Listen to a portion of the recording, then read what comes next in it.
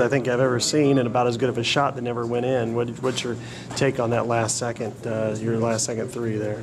Yeah, you know, uh, I came off the screen and I, I could feel Brust. Uh, you know, I felt I felt him like caught up.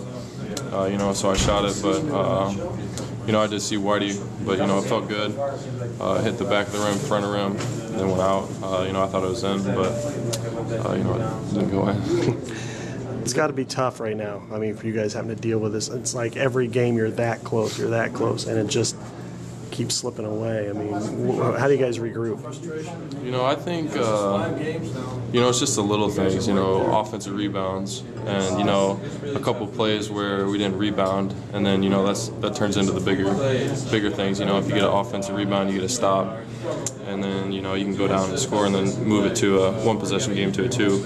And uh, you know, I think just executing down the stretch is a big thing we got to do because you know we're in the game basically the whole game. All these games we're losing, and uh, you know, last couple minutes, you know, we blow it away. You mentioned that three there at the end of regulation. You thought it went in when you released it. it. Does it make it all the more frustrating when you have that happen right after they just hit a three where it like hits the front of the rim and backboard and just kind of gets that lucky bounce, if you will?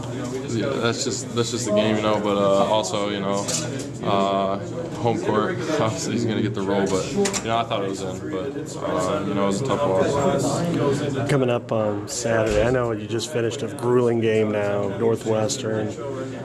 What do, what, do- what do they present for you? I guess you know. So- what do they present? You know, one three one. They're pretty diligent with that. Yeah, you know, lately they they've been playing well. Uh, you know, they just beat Minnesota. Uh, yeah, I saw that on TV, so I know that. I don't know who their recent game was, but um, Purdue You know, I just yeah, uh, we just gotta be focused and you know stay focused uh, tomorrow in practice and really focus on Northwestern and take each game one game at a time on, uh, the whole way out.